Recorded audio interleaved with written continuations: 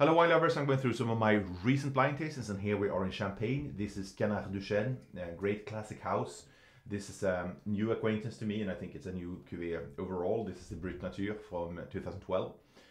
This is uh, Blanc de Noir, so it's, um, I, don't, I don't think it says on the label, but this is 70% of Pinot Noir, 30% of Pinot Meunier. This is coming from Montagne de Reims and uh, this is mainly Grand Cru and Premier Cru vineyards in there, among them Ailly, Bouzy, Mailly, which are of course well renowned for their deep and profound Pinot Noir. And um, 2012 was doubtless a great vintage.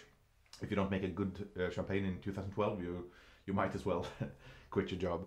And uh, this is showing a intense and ripe nose.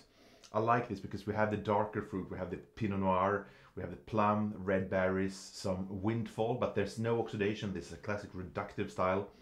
Then we have the vinous notes of brioche, gingerbread spice.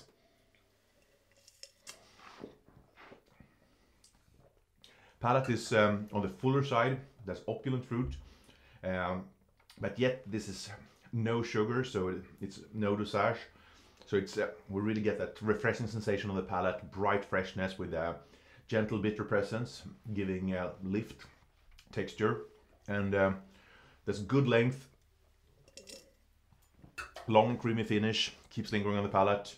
And um, this is good to drink now. It's still in a youthful phase, so there's certainly potential for more aging if you like a more mature nutty style of champagne. Enjoy.